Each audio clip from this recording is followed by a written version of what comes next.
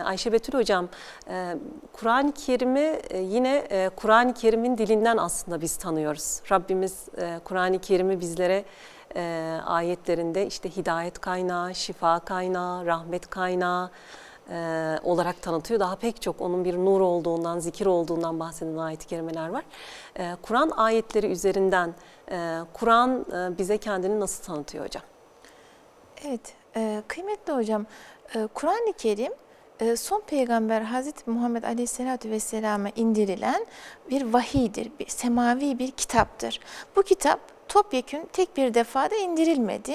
20, yaklaşık 23 yıllık bir nüzul süreci içerisinde peyderpey, aşama aşama, kısım kısım indirildi.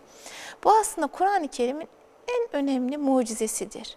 Yani Allahu Teala toptan bir defada bizim elimize bir kitap göndermedi de bunu peygamber vasıtasıyla yaşaya yaşaya 23 yıllık bir süreç içerisinde yaşaya yaşaya tatbik ederek, uygulayarak, hayata e, geçirerek gösterdi ya da öğretti. Bu noktada Kur'an-ı Kerim'in nasıl bir kitap olduğu da ilgili ilgili ayetlere baktığımız zaman Kur'an-ı Kerim öncelikli olarak bu vahyin, son ilahi vahyin evrensel olduğunu ve kıyamete kadar geçerli olduğunu ifade etmektedir.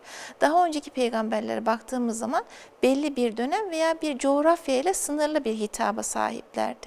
Fakat Peygamber Efendimiz hem gönderildiği topluma hem de kıyamete kadar bu ilahi vahye muhatap olan herkese bir peygamber olarak gönderilmiştir.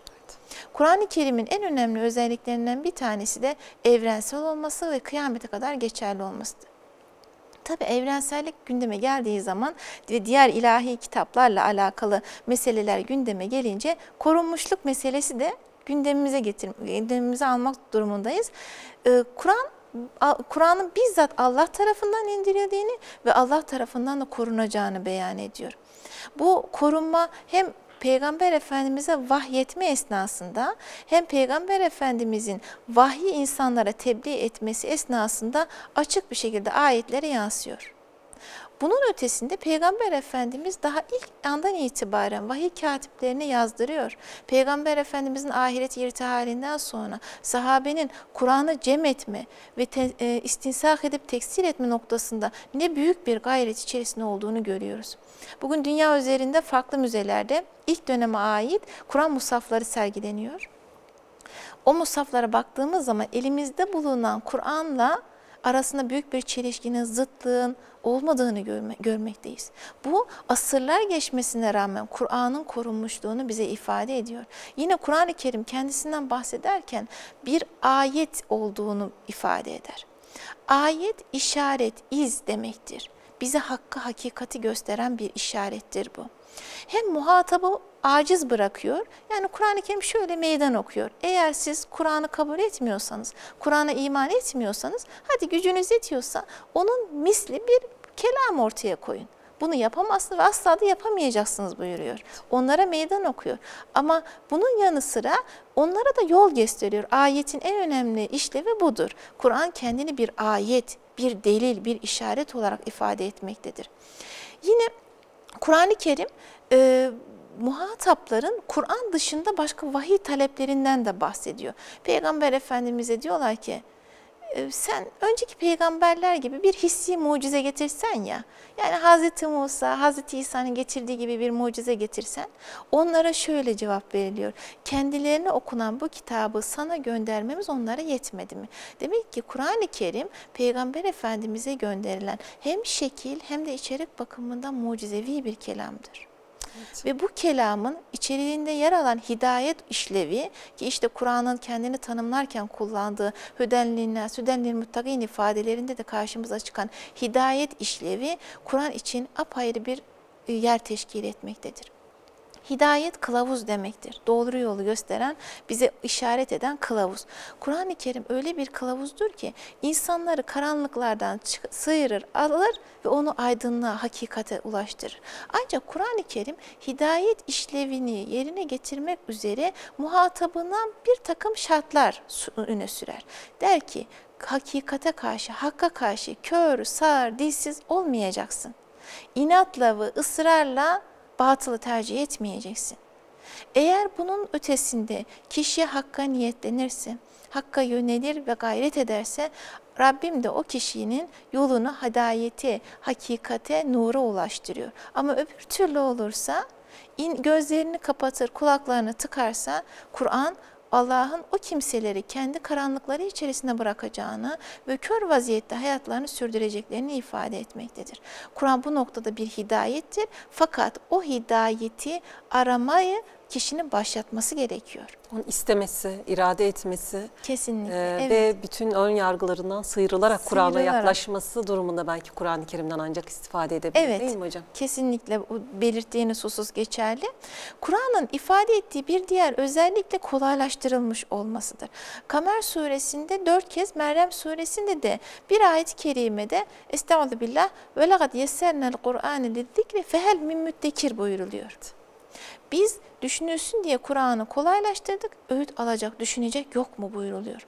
Şimdi ilgili ayet Kamer suresinde dört defa zikrediliyor ve ayetin bağlamına baktığımız zaman Hz. Nuh'un, Hz. Hud'un, Hz. Salih ve Hz. Lut'un kavimleriyle yaşadığı olaylardan kesitler sunulduğunu görmekteyiz.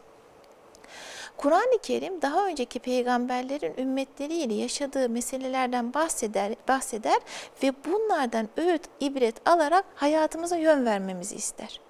İşte bu noktada bizim için kolaylaştırılmıştır aslında. Söz konusu iman hadisesi, küfür hadisesi kıssalarda öylesine muşahhas bir hale dönüştürülür ki zihnimizde, aklımızda, gönlümüzde olay netleşir. Bakarız bir taraftan peygamber ve ona iman edenler, bir taraftan inat ve ısrarla karşı çıkanlar vardır. Neticede galip gelenler ise iman edenler olmaktadır. Bu hadise zihnimizde ve gönlümüzde şekillenmesi noktasında kıssaların önemli bir işlevi vardır. Yine Allah'ın yüce kudretinden bahseden ayetler bizim tefekkür dünyamıza yansıması noktasında kolaylaştırılmıştır. Şöyle düşünelim değerli hocam, asırlar geçmiş bir kitap her nesil tarafından büyük bir teveccühle ezberleniyor, Okunuyor. okunuyor ve hayata tatbik ediliyor. Ve bu ezberleyen insanların ana dili Arapça değil, değil mi? Yani Arap olanların dışındaki kav- milletlere baktığımız zaman içinde yaşadığımız coğrafya itibariyle de düşündüğümüz zaman başka dilden bir kelamı ezberliyorsunuz ve siz bu ezberiniz üzerine de hayatınızı idame ettirebiliyorsunuz. Yani bu insanlar yaşlılık dönemlerine varıncaya kadar bu ezberlerini unutmuyorlar. Bu işte Kur'an-ı Kerim'in hem okunması hem ezberlenmesi hem hayata tatbiki noktasında kolaylaştırıldığını bize ifade etmektedir. Yine Kur'an-ı Kerim kendisinden bahsederken kavlen thakelen ifadesi kullanılır. kullanır. Ağır bir söz. Bu ifadelerin yer aldığı e, ayetlere baktığımız zaman Müzzemmil suresini hatırlamamız mümkündür.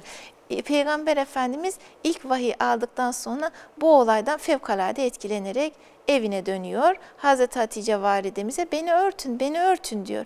Kendisine bir örtüyü örtüyorlar ve bu vaziyetteyken Müzzemmil ve Müddessir surelerinde bu vaziyetteki Peygamber Efendimiz'e hitaben ilgili ayetler nazil oluyor onun tebliğ ile vazifelendirildiği ifade ettiği gibi Müzzemmil suresinde de geceleyin ibadetle sorumlu tutulduğundan bahsediliyor. Müzzemmil suresinde Peygamber Efendimizin bir peygamber olarak gece ibadetiyle sorumlu tutulduğunu görüyoruz. Geceleyin belli bir vakit ibadetle mükellef tutuluyor. Kur'an-ı Kerim'in de e, ağır ağır okuması Ağır ağır evet. Peygamber Aynı Efendimiz'den isteniyor değil mi hocam? Evet, aynı ayetin devamında da Kur'an'ı tertil üzere okuması emrediliyor. Zira gecenin sükuneti, dinginliği, o karanlığının insanın maneviyatı üzerinde daha tesirli olduğundan bahsediliyor. Bu bağlam içerisinde Kur'an'ın da ağır bir söz olduğu ifadesini belki de aktarmamız mümkündür. İşte bu ağır söz olması yani Kur'an-ı Kerim'in içeriğindeki emretme, emredilen hususlar, yasaklanan hususlar, içeriğinde yer alan pek çok nev'iden meseleler Kur'an'ın bize verdiği sorumluluk, bize yüklediği sorumluluk dikkate alındığı zaman Kur'an ağır bir sorumluluğu da aslında bizlere yüklüyor. Bütün bunları mülahaza etmek, tefekkür etmek için bizim kendimizle baş başa olacak bir zaman dilimine ihtiyacımız var. Bu tefekkürü sağlama noktasında dolayısıyla geceleyin tayin edilen bir zamandan bahsediliyor. Biraz sonra sahur vaktinden bahsederken de üzerinde duracağız. Ramazan ayının bizi disipline eden bir yönün olduğunu biliyoruz. İşte bu noktada da sahurun belki de en önemli faydalarından bir tanesi bizi gece ibadetine alıştırıyor. Onu Yani tecrübe etmek, tecrübe yaşamak etmek, anlamında bir e, şey olmuş oluyor Ramazan'ın bir fırsat olmuş oluyor Evet yani geceleyin belli bir süre uyuyoruz ve ardından kalkıyoruz. Dinlendikten sonra kalkmak. Ramazan sonrası bir ay boyunca bunu yaptıktan sonra Ramazan sonrası gece ibadetini bir alışkanlık, bir meziyet haline getirmemiz kolaylaşıyor. İnşallah. Bu noktada da Ramazan'ın bize kazandıracağı böyle bir haz, böyle bir meziyet de söz konusu. Kur'an'ın tertil üzere okunması sadece okunup e, anlaşılır bir şekilde, doğru bir şekilde okunmasının ötesinde bir de o okuduğumuz hususları yaşamamız, hayata tatbik etmemiz yönü de dikkat çekmektedir. İmam Maturidi Kur'an'ın tertil üzere okunmasını anlatırken der ki, Kur'an anlaşılsın diye okumak demektir. Hayata tatbik edilsin diye sürekli gündemde tutmak için okumak demektir. Kur'an'da yer alan emirler yerine getirilsin, yasaklardan da uzaklaşılsın diye okumak gerekir. Ve bütün bunlar der tertil üzere okumaktır. Öyleyse Kur'an'ın bizden istediği şey Kur'an'ı doğru ve anlaşılır bir şekilde okumak, okuduğumuzun ne olduğunu bilmek, anlamak ve bunu da hayata tatbik etmektir. Böyle bir vaziyette olursak, böyle bir metodoloji belirsersek eğer Kur'an'ın bize vaat ettiği hidayeti de inşallah ulaşacağızdır, hidayete de kavuşacağızdır.